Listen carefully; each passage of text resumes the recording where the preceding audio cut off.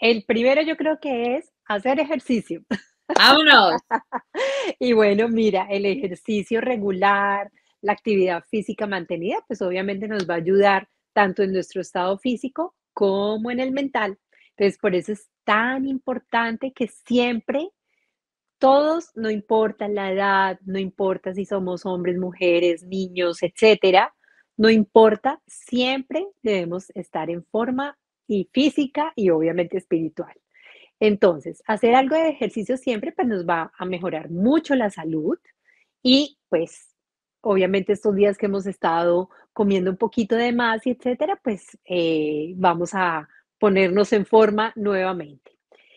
¿Cuáles son los beneficios del ejercicio? Eso es lo que les quiero comentar. ¿Por qué hacer ejercicio?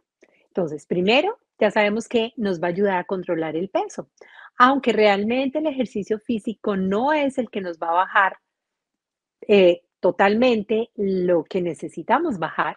Es muy importante hacerlo para, porque bueno, primero nos ayuda a quemar calorías, eso es cierto, eso es verdadero, no es un mito. Y eh, obviamente esto si lo hacemos mínimo tres veces a la semana y mínimo una hora diaria o una hora tres veces a la semana, ¿no? Pero de, de, las cosas más importantes que tiene el ejercicio es que nos va a prevenir de diversas enfermedades. Entonces, nos va a limitar una, tener una mortalidad prematura, que ya sabemos que pues, todos queremos vivir muchos años y más si tenemos unas familias tan hermosas, grandes, en fin, bueno, no importa. Yo creo que así sean dos personas en la familia, es más que suficiente y quiere uno vivir mucho tiempo para compartir con ella. El deporte mejora síntomas de artritis o de artrosis, entonces ya sabemos que cuando hay dolores articulares, al hacer ejercicio definitivamente empiezan a disminuirse los dolores. Entonces, eh, a veces cometemos el error de que no, tengo artritis, tengo artrosis, el doctor me dijo que quieta. Al contrario, tenemos que, obviamente, dependiendo la restricción articular que tengamos, pues no nos vamos a, eh, hacer locuras y al contrario, hacer el ejercicio hasta, hasta donde nos dé la limitación de nuestra articulación, pero siempre hacer ejercicio.